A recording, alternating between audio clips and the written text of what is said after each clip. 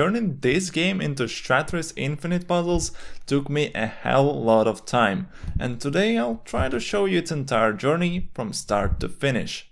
This project started when I was just drawing various runes for fun. I was certain that I'd use them somewhere, but didn't know I'd put them on stones in Shatris. Then, I knew the levels should consist of puzzle pieces that fit into a 3x3 grid, so I started generating these shapes with the help of coding.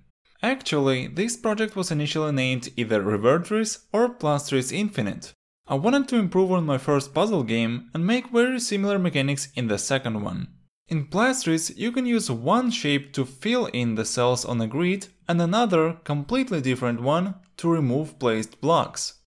I thought that in Shatris I'd make one shape using which you could reverse the state of cells under it, so the filled cells would become empty and vice versa. At some point I realized that beating levels was much easier and even faster if you simply clicked anywhere on the screen instead of trying to think how to solve them. This idea of reverting cells just didn't work out, so I turned Shatris into a game with different shapes that can be used multiple times to fill in all the cells on the screen.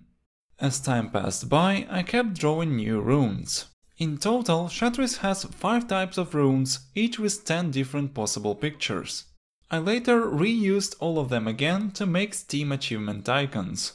Then came the time to implement history into the game. This thing allows players to revert previous moves in a chronological order, just like pressing Ctrl plus Z in pretty much any program. Believe it or not, I love adding that feature to my games. For some reason it always works out from the first try, and it makes me feel as if I can manipulate time. Cool! Borrowing even more ideas from Plastris, I wanted some particles to spawn when you place down the stones in a game. They didn't look good at all, so instead I decided to play a little animation for that action. Then came the animations for reverting a move and hovering over the game board. One cool thing we played with in Plastris trailer was holding down the left or right mouse button to continuously place or remove blocks. This feature never made it into the game because it simply broke everything if used in unintended ways. This time, however, I made sure these mechanics would work properly. With the addition of particles and music by my favorite composer Hypersleep, the game started to look pretty charming to me.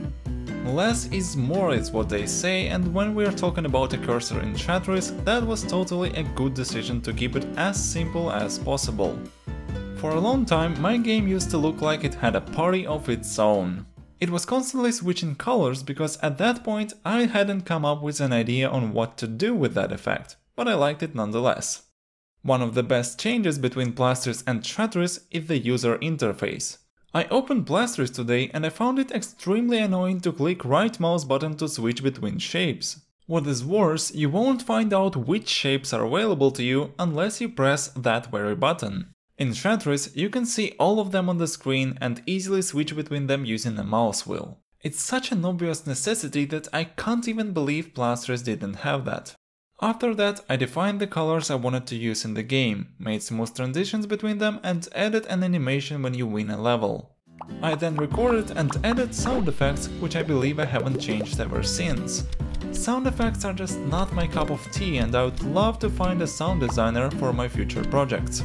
Then I made a simple menu for the game. I'm quite happy with it because it resembles what the game is like and it's also susceptible to color, particles and music changes. Also, both Shatris and Plastris can be played without knowing any language at all. I try to prove a point that we as gamers have evolved so much that most of the times we don't need words to understand what is happening. Here's how Shatris demo used to look like. It was released for Steam Festival which took place in June 2020. Compared to the current version, the game was missing 450 levels, one game theme and soundtrack, random generation system and many quality of life features. After the festival, I wanted to make some idle animations that will happen to runes outside of the game board. I thought it would be fun to have something happening around while you are thinking. The idea came from other casual games such as Divide by Sheep and There Are Flying Fish and Clicker Heroes in which random objects sometimes pop up on the screen. I made quite a few animations for runes changing into different ones, but later abandoned the idea because it made the game look cluttered. Again, I decided that in this case, less is more. The single most important addition to the game in my eyes became a system I call Shape Counter. It counts how many shapes of different types are placed on the game board and shows you these numbers on the screen, subtracting from them as you place runes down. I didn't even think about it at the beginning of this project because there are often multiple ways to solve a single level. Moreover, I believed it would make the game too easy.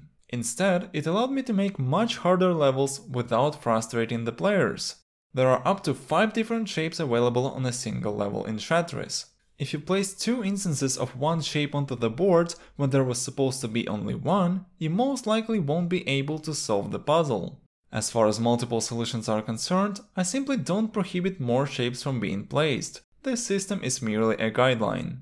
Since by that point I had already given 400 or more levels unique names for save file purposes, I decided to also show them in the game.